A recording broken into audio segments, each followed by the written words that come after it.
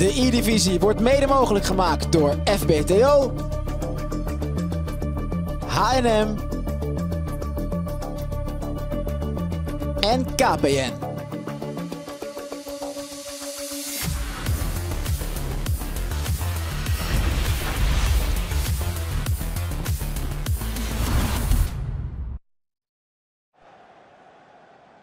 Vitesse het goed dit seizoen en ook Twente nieuw in de Eredivisie. En in de Eredivisie doet Vitesse het zelfs uitstekend.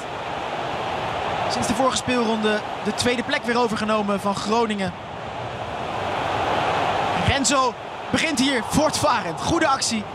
De vuisten van Van der Sar staan een doelpunt in de weg. Vitesse dat eh, samen met AZ die tweede plek deelt. Alleen op doelsaldo heeft Vitesse de iets betere papieren. Maakte wat meer goals. En hier, zo wat een goal. Goedemorgen Renzo Umrausing. Ronaldo Doet het. Vanuit de lucht. Schitterende volley, stijf in de kruising. Echt een prachtige goal. En Brent Wering. En is het tijd gehad om hem te bespreken. Kijkt tegen een vroege achterstand aan. Twente doet het eh, alleraardigst. Is wat opgeklommen. Begon vertwijfeld. Maar staat voorlopig nog tussen de ploegen op een positie die genoeg zou gaan zijn voor play-offs. Maar vandaag een lastig programma. En hierna nog zeven wedstrijden te gaan. Het wordt spannend voor FC Twente. Maar het doel is uiteraard om bij die eerste 12 te gaan eindigen.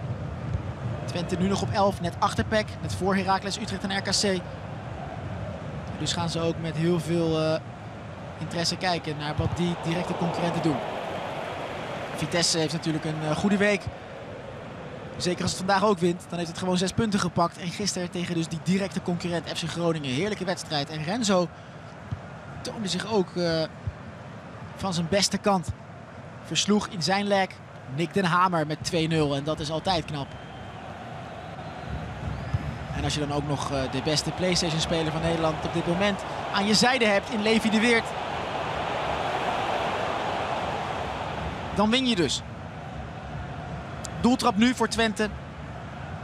Twente dat het ook uh, heel knap presteerde in de vorige speelronde. In de dinsdagwedstrijd van deze week, de negende speelronde. Fortuna was de tegenstander. En Brent verloor weliswaar, nipt van Jason in de slotfase. Maar zijn maatje, Enis Tokdemir, die we straks dus in actie gaan zien tegen Levi de Weert. Die draaide het nog bijna om. Zorgde er in elk geval voor dat Twente een punt pakte. En hier is Brent. Brent met de goal. Schitterend gedaan. Keeper komt uh, uit die korte hoek. Renzo zet hem wat meer naar de lange hoek. Maar Brent kiest niet voor die lange hoek. Hij poft hem uh, gewoon hard in de korte hoek binnen.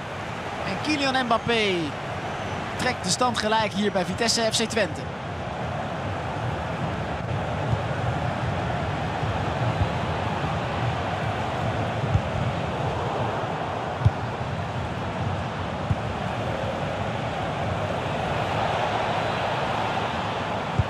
Zo, zo. Het volgende gevaar dient zich aan. Brent Wering. Grote onbekende. Moet nu even oppassen in de omschakeling. Want is dit een leuke open wedstrijd zeg. Ronaldo Lima naar de grond gebracht. Geen strafschop. En Twente mag dus door.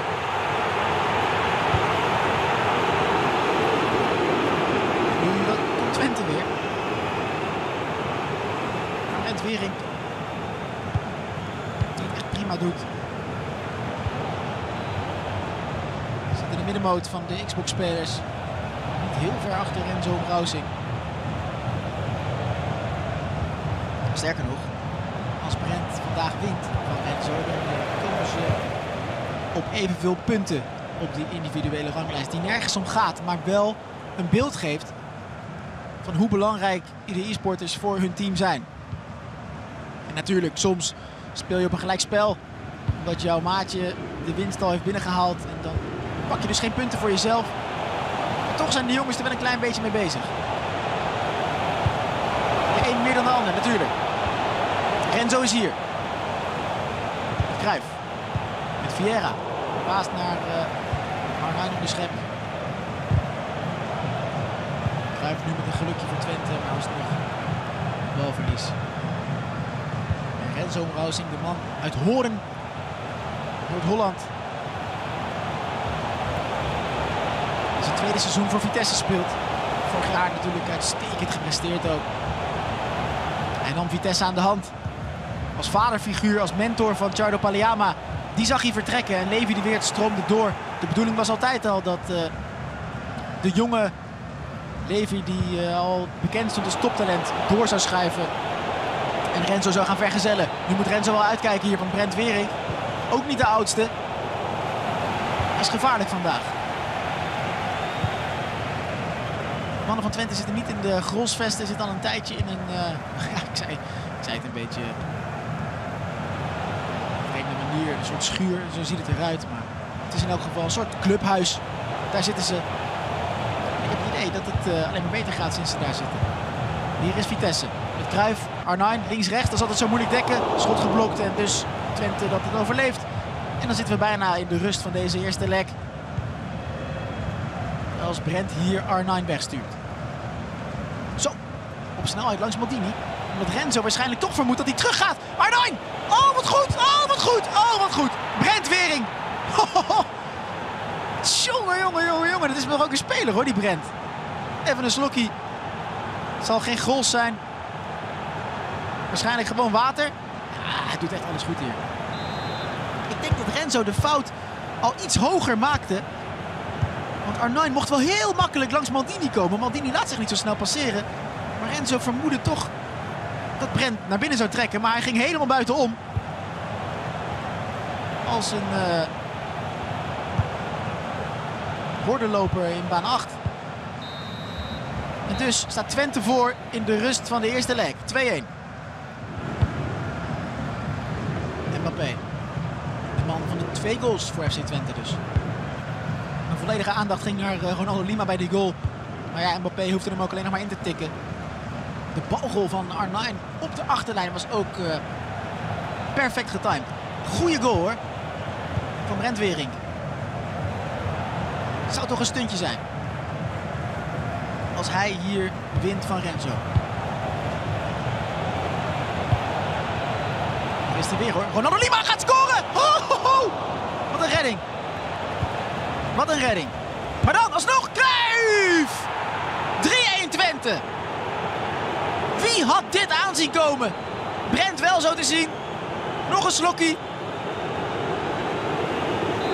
Natuurlijk, deze goal komt wat gelukkiger tot stand uiteindelijk. Maar de kans met R9 was al immens. Die redding was er nog van Renzo's doelman. Maar Brent Wering laat zichzelf hier echt zien. We wisten al dat hij wel aardig kon spelen. Maar dit zou wel eens de wedstrijd kunnen zijn waarin hij zijn naam definitief vestigt. Al is hij natuurlijk nog niet helemaal klaar met Renzo. Want die is hier met Kruif. Met Renzo ben je nooit helemaal klaar. Die zul je niet zo snel uh, op drie goals achterstand krijgen. Maar dat hij hier van 1-0 tot 1-3 komt is toch al uh, verbazingwekkend te noemen. Nu moet hij uitkijken, Brent. Want het levert hem in bij Pelé. Dan gaat Arnijn diep, maar is Walker snel genoeg centraal achterin bij Twente. Dat zie je toch vaak. Die informkaart van Kyle Walker. Er zitten eigenlijk alle kwaliteiten die je zoekt in een centrale verdediger.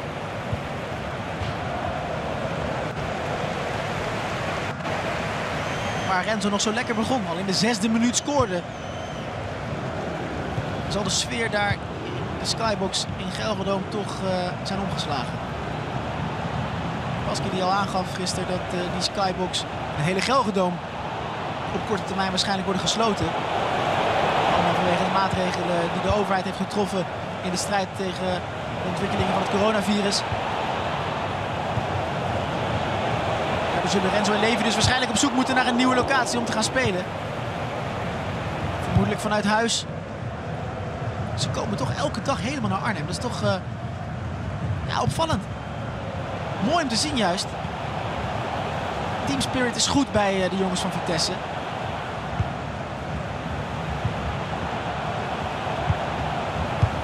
Renzo die dus helemaal uh, in Horen woont. is echt een eindje kachel hoor naar Arnhem. 20 minuten op zijn minst. Maar hij rijdt het dus twee keer per week op en neer. Misschien één keer. Dat hij daar slaapt in de buurt van Arnhem. Dat gaan we eens vragen. Hoe uitgeslapen is hij vandaag? Hoe fit en gefocust is hij? Kan hij terugkomen in de wedstrijd? Of gaat Brent hier echt een enorme tik uitdelen? Levi de Weert zal zoiets hebben van maak er nog één Rens. Maak er nog één. Dan, uh, dan haal ik de punten wel voor ons binnen in die tweede leg. Maar zorg niet dat die achterstand twee goals uh, bedraagt. Want dan wordt het gewoon lastig. Dan moet Levi met drie goals verschil winnen in die tweede leg. Maar kijk eens even. Brent! Brent! Wat doe je vandaag?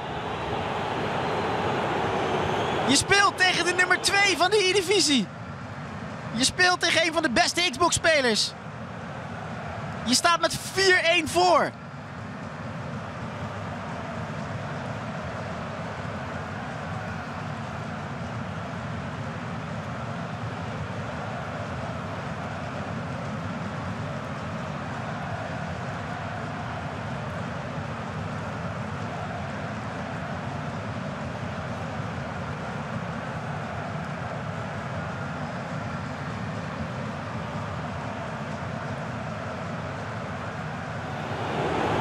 Wat een sensatie. Wat schiet Cruijff hem ook fantastisch in. Rent keek al snel tegen een 1-0 achterstand aan, maar die tukkers zijn soms niet gek te krijgen. Twee keer Mbappé, twee keer Johan Cruijff. Zorgen voor een 4-1 voorsprong van Twente. Dit is echt, echt, echt opvallend te noemen. Wat kan Renze nog in het laatste kwartier?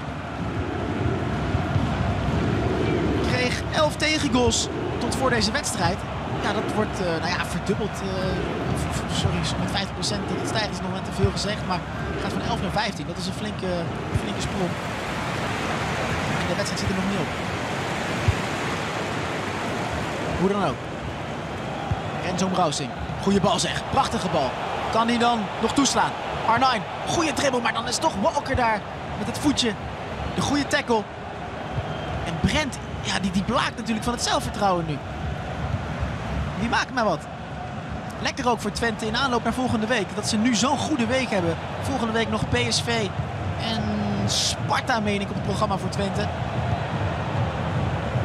Maar ja, ja dat klopt. Maar als je dan uh, in zo'n week niet verliest van Fortuna. En kijk nou toch, wat is dit? Wat is hier aan de hand? Wat is hier aan de hand met Renzo? Wat, wat, wat gebeurt er? Dit kan toch haast niet? Brent wordt er ongemakkelijk van. Het is 5-1. Hoe moeten die mannen er daarbij zitten? Ja, Renzo liet al eerder eens een keertje een steekje vallen. Een mindere fase waardoor Vitesse wat punten morste. Maar over het algemeen uh, doet Vitesse het natuurlijk uitstekend in deze divisie. Maar dit is toch wel een knauw. Dit is een tik die Brent Wering hier uitdeelt. En dan kun je Levi de Weert heten.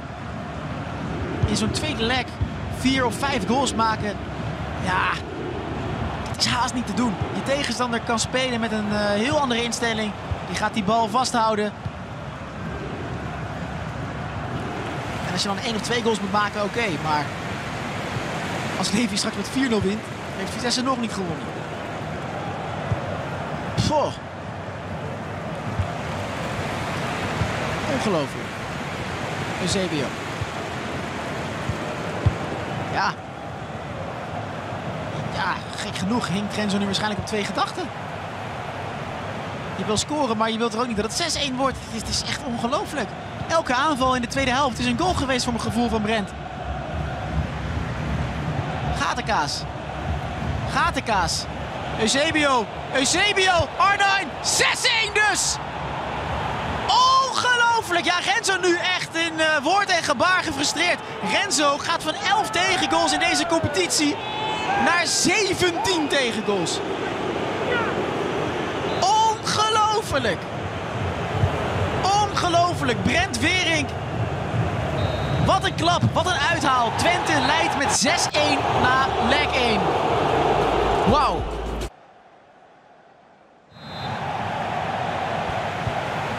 Nou, stoelriemen vast. stuur Levi de Weert op een onmogelijke missie. En hij gaat er even goed voor zitten. Levi de Weert is de enige... Nee, dat is raar om te zeggen. Maar als je dan iemand met zo'n missie op pad moet sturen... Ja, doe dan Levi de Weert maar. Als je iemand mag uitzoeken... Dan zou je Levi de Weert aanwijzen. Levi, maak maar zes goals voor me. Renzo had een totale off-day. Je kunt niet anders zeggen. Ik weet niet wat de oorzaak ervan is. Maar als je zoveel tegengoals krijgt. Nog vier tegengoals in de tweede helft. Elke aanval een doelpunt is. De verdediging gaat de kaas lijkt. Dan kun je niet anders zeggen dan dat zo'n goede speler als Renzo blijkbaar een off-day heeft. Levi mag vol op de aanval gaan spelen. Hij heeft een uh, opdracht waarbij hij niks te verliezen heeft. Dat is duidelijk. Speelt niet tegen een pannenkoek, absoluut niet. En is Tokdemir won gisteren van uh, Mark Groenland. Ja, dat zijn toch ook al prestaties. Greenhopper heeft een geweldig seizoen uh, met FIFA 21. Maar Ennis versloeg hem gisteren, dus die zit er ook wel lekker in. Maar uh, ja, Levi is soms niet te stuiten en komt al snel op 1-0. En als dit de snelheid wordt en het ritme wordt waarop hij zijn goals kan gaan maken, zou het kunnen. Dan zou het kunnen. Ja, er zijn niet veel jongens hoor, die de kwaliteit hebben om er misschien zes te maken. Maar van Levi durf ik niet te zeggen dat hij het in zo'n tweede leg niet kan. Het zijn rare wedstrijden. Hè? Kijk, Ennis, Ennis weet ook, dat, gek, dat is het stomme. Ennis weet dat hij er niet zo in moet gaan alsof hij er al is. Hij weet ook dat Levi van ongekende kwaliteit is. En het lijkt erop ook alsof Ennis uh, zich niet gaat verstoppen. Gaat niet uh, eindeloos die bal in de ploeg houden. Wil ook op jacht naar doelpunten. Dat vind ik mooi om te zien. Ennis is geen, uh, geen laffe speler. Geen puntenspeler zou je haast zeggen. Zoekt hier wel even de hoek op. Hij moet me gelijk nog wel even gaan bewijzen. Maar het zou natuurlijk ook zo goed recht zijn als hij het wel doet. Daar niet van. Maar je houdt ervan. Als iemand zelf nu de aanval zoekt. Hij weet dat Levi vol op de aanval gaat. Dus dat er ook ruimte voor hem moet komen. Dus je weet dat er op zich kansen liggen. Om zelf juist de zevende en achtste goal voor Twente te gaan maken. Waarom niet? Beetje zelfvertrouwen. Zeker na zo'n overwinning van gisteren. Maar goed. Als Levi er gewoon drie maakt in de eerste helft. Dan ligt hij dus op koers. Het wordt echt nog een leuke wedstrijd dit. Dat kan het worden. Ga er maar aan staan. Tegen wie, dan ook in die divisie. Zes goals maken. Het is, het is haast onmogelijk. Hier is Mbappé voor FC Twente. Dat dus uh, bij winst vandaag. Ja, laten we er voor nu maar even vanuit gaan dat Twente vandaag wint. Op 14 punten komt. En kunnen ze daarmee back inhalen? Houden ze in elk geval Heracles, Utrecht, RKC nog even van zich af? Verstevigen ze hun positie in elk geval eventjes voor uh, de play-off plekken? Leuk om te zien. Het zijn goede jongens. Leuke jongens, je gunt het ze. Maar Ennis moet wel uit gaan kijken hier. Want Levi heeft zijn tweede erin. Dit wordt leuk. Dit wordt heel leuk. Levi Weert is haast een uh, jongen van een andere planeet. Heel benieuwd hoe hij daar net naast Renzo zat. Neemt hij hem dan iets kwalijk? Ziet hij iets waaraan hij ook kan zien... Ja, Renzo, hier kun je niks aan doen. Dit zijn andere machten. Is hij kwaad op Renzo op zo'n moment? Je weet het niet. Berustend. Hij was heel boos op zichzelf toen hij in het uh, delayhok van El Jogo, Paski Rokus, verloor van Fortuna Sittard. Hij was kwaad op zichzelf. Verloor met 2-1 van uh, Greenhopper.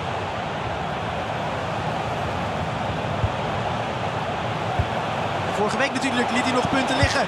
Oh, oh, oh, oh, oh. Dit gaat veel te snel voor Enis. Dit gaat veel te snel. 3-0. Dit zou wat zijn, zeg hé. Dit zou de comeback der comebacks zijn. Dit zou de koninginnen comeback zijn. Maar ga er goed voor zitten. Deze wedstrijd wil je in zijn geheel gaan bekijken. Geen idee of hij het redt. Geen idee, maar hij ligt voor op schema. Hij moest er drie maken voor rust. Hij moet er zes maken in een hele wedstrijd. Dus hij ligt voor op schema. En het ziet er zo makkelijk uit. Dat maakt het uh, des te knapper. Geef hem een opdracht, geef hem wat uitdaging. En Levy speelt op zijn best, want hij heeft nog geen foute paas gegeven volgens mij. Kijk nou toch! Hou me vast! Levy de Weert, 4-0! Het gaat gebeuren. Oh, en Enes, die zit, er, die zit erbij. Ja, je krijgt medelijden met hem. Het is, het is geen slechte speler, hè? laten we dat niet vergeten. Enes Tokdemir wint gisteren nog van Greenhopper. Enes staat met 20 gewoon op de 11e plek. We hebben het hier over middenmotors in een, in een bloedstollende, bloedstollend spannende competitie. En Levi de Weert speelt hem zoek, omdat hij dat moet. Maar hij speelt hem zoek alsof hij, alsof hij thuis is gebleven. Alsof hij tegen een lege stoel aan het spelen is. Oh, frustratie bij is natuurlijk. Ik vond zijn spelopvatting mooi. Hij ging niet voor 70% balbezit, zoals we wel eerder hebben gezien. Ik zag het Jasper Maas tegen Pek doen en die ging uiteindelijk toch kopje onder. Ennis verdedigde een voorsprong van vijf goals. Koos alsnog voor de aanval. Koos ervoor om zelf ook gewoon kansen te gaan creëren. Niet dat dat nou zo goed lukt. Het gaat om de intentie, de spelopvatting. En loopt hier al vier keer in het mes van Levi de Weert. De storm is wel heel even gaan liggen nu. Storm Levi. Wanneer komt er een tweede golf? Nou, het is nu 4-0. het is echt ongelooflijk. Het gat is nog maar één doelpunt. Twente trapt af. In de tweede leg. De tweede helft. Het gat van 6-1. De voorsprong van 6-1. Het gat van 5 goals. Nu al verworden tot een 6-5 tussenstand. De voorsprong bedraagt nog één doelpunt. Kan Ennis het daar dan bij laten? Kan die Levi vanaf nu tegenhouden? Oh, Van der Sar heeft hij daarbij nodig.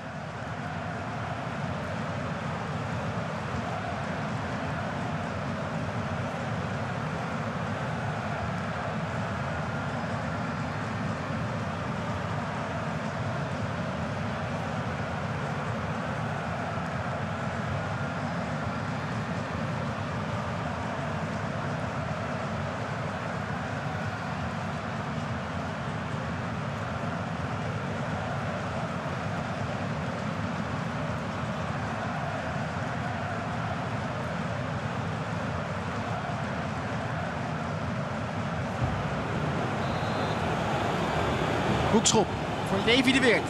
16 jaar, uit Apeldoorn. Zijn vader speelde ooit voor Vitesse. Maar de huidige generatie voetbalfans zal zijn naam nog genoeg gaan horen. Dat, dat is toch een zekerheidje. Staat bovenaan de PlayStation ranglijst.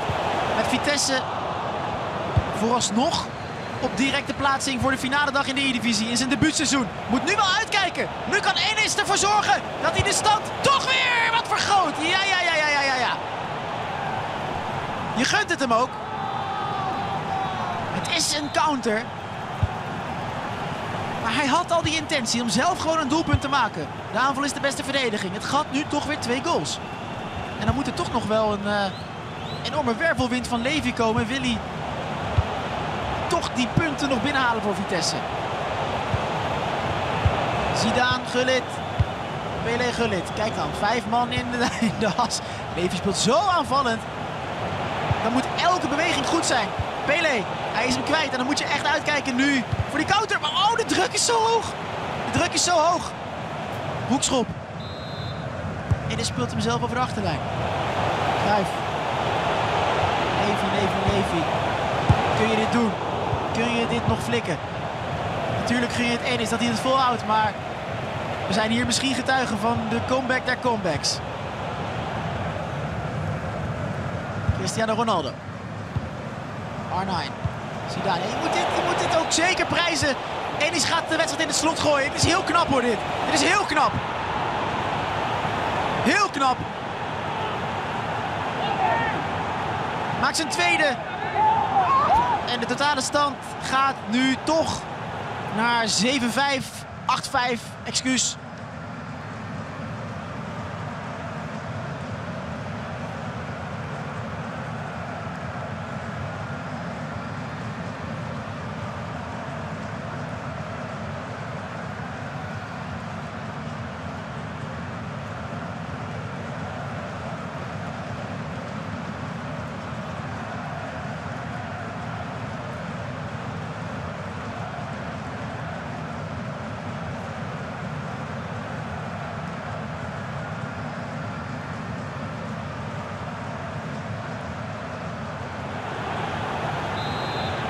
8-5 nu de totale stand.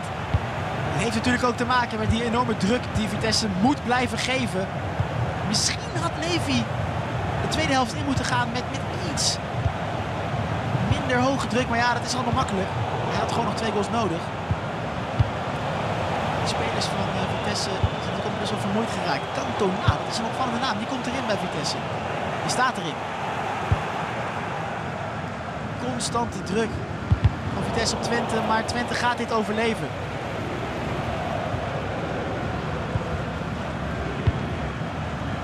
Wat begon Levi fantastisch aan deze wedstrijd. Maar Enis hield zijn kopje erbij. Zag die voorsprong van vijf doelpunten slinken tot één doelpunt. Maar hij is rustig gebleven. Dat is heel knap. Je ziet de krantenkoppen bij wijze van spreken al voor je.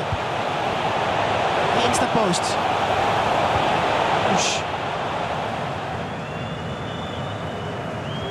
Wedstrijd nog.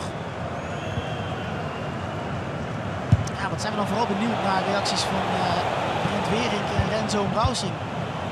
Hoe kon dat daar een tennisuitslag worden? 6-1. Alsof Federer uh, een eerste rondepartij speelde op Wimbledon.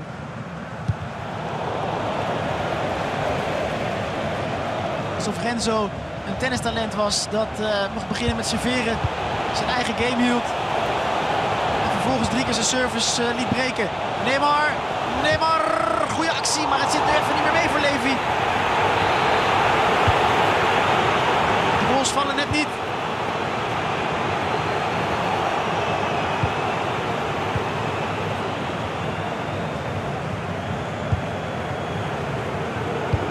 Ja, je ziet dat Vitesse-spelers bijna allemaal nu net tekort komen in de duels. Hebben natuurlijk met krachten gesmeten eerste helft. Cantona, Arnijn, ook net niet. Toch weer even de druk opvoeren. Maar het gaat hem niet worden. Het gaat hem niet worden. Ah, er komt er nog eentje. Ja hoor. 8-6.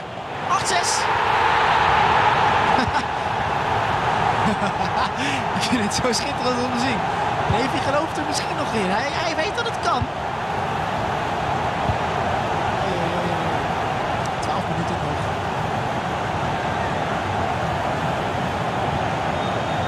Moeten we deze jongens dankbaar zijn voor de prachtige wedstrijd die we ze hebben zien spelen. Die ze ons hebben voorgeschoteld.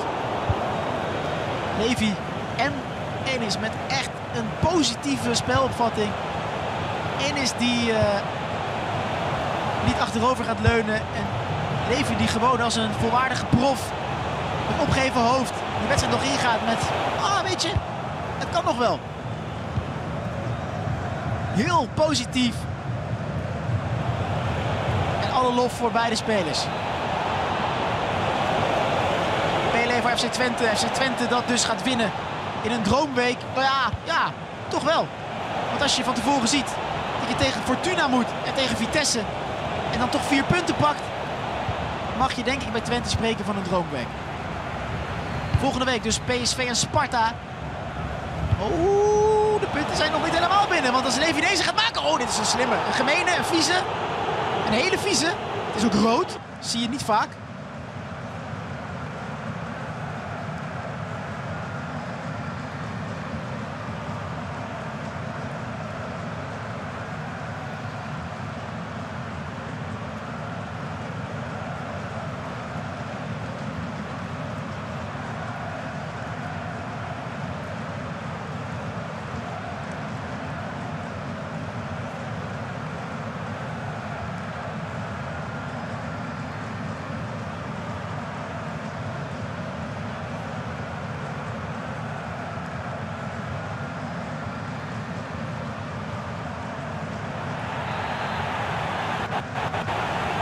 Rode kaart dus voor Twente, voor Vieira.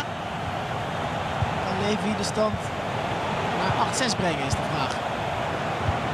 Dan krijgen we toch nog een leuke laatste paar minuten tegen een man minder van de Twente. Oh, ja, daar is die! Nou, nou, nou, nou, nou, nou, nou.